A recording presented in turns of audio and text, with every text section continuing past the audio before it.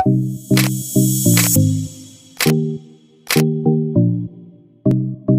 yang tak mengenal dengan sosok Ola Ramlan? Ola Ramlan merupakan artis sekaligus presenter kenamaan di tanah air.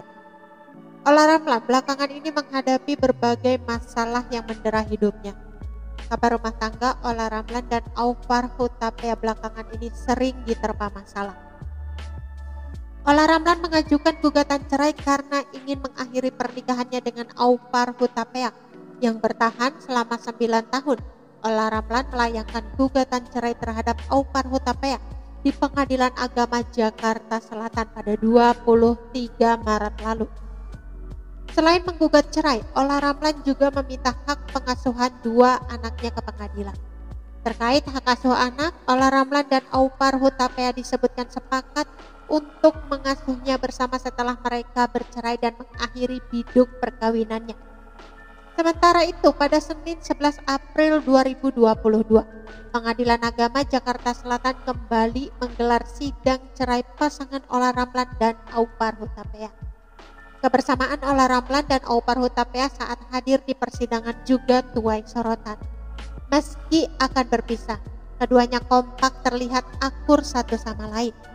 Aupar Hutapea bahkan tampak memeluk dan bergandengan tangan dengan Ola Ramlan Meski terlihat akur dengan sang suami, namun Ola Ramlan mengaku tetap ingin berpisah secara baik-baik.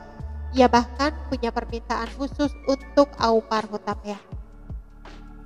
Permintaannya cuma satu agar Aupar Hutapea mau untuk selalu bersahabat dengannya meski sudah berpisah. Hubungan kami masih baik, kami masih cat-catan, masih komunikasi.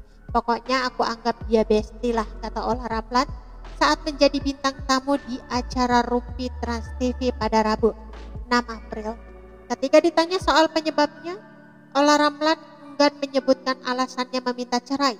Ia tak mau mengumbar aib mantan suami yang pernah ia cintai. Namun ia menyatakan ia merasa terluka karena Aufan. Bagaimanapun aku pernah mencintai dia, aku pernah menyayangi dia. Tapi aku terluka tutur Ola Ramlan sambil menangis. Gak pantas buat seorang istri untuk membuka kejelekan seorang suami sambungnya. Di depan Penny Rose, Ola Ramlan tak kuat menahan air matanya manakala mengungkapkan ucapannya pada sang ayah. Ola Ramlan mengaku tak lama usai memutuskan untuk berpisah dari Aufat. Dirinya ziarah ke makam sang ayah dan mencurahkan isi hatinya.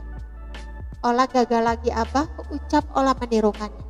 Ucapannya saat berziarah dalam acara Rumpi No Secret.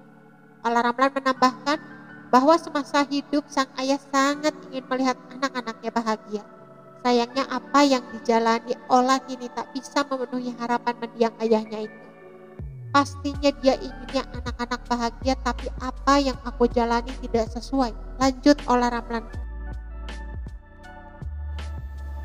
Oke teman-teman itu sedikit berita dari channel vlog berita sampai ketemu lagi di berita-berita selengkapnya. Assalamualaikum bye bye.